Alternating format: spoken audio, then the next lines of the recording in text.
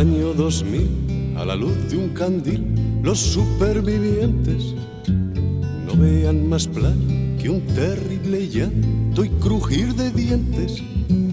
Se puede apostar sin menospreciar aquellos profetas que aseguran que el remedio viene de otros planetas.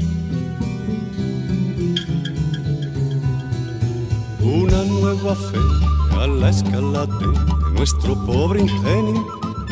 Una solución de ciencia ficción de cara milenio. Que un rayo de luz celeste conduzca al hombre expectante.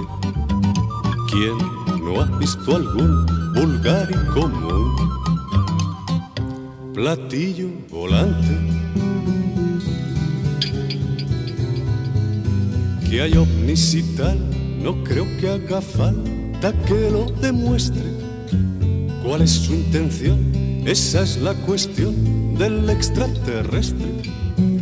No voy a afirmar que quieran violar a nuestras hermanas o implantar aquí costumbres así como americanas. ¡Hey! ¡Wow! Tampoco creer que venga a ofrecer al género humano un ser superior, su ayuda exterior, su especie de mano. No encuentro normal que en traje espacial nos llegue el Mesías, que la osa mayor se preocupen por nuestras tonterías.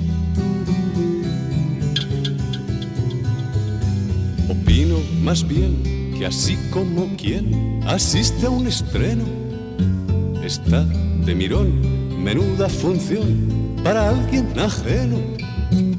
Qué espectacular telón nuclear caerá un día de estos y tras el telón, qué enorme ovación sobre nuestros restos. De ahí el interés del extraterrestre por nuestra escena.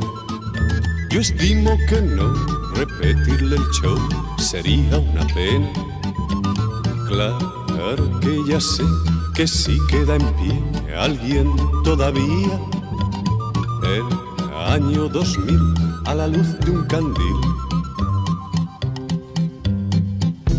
de nuevo la lía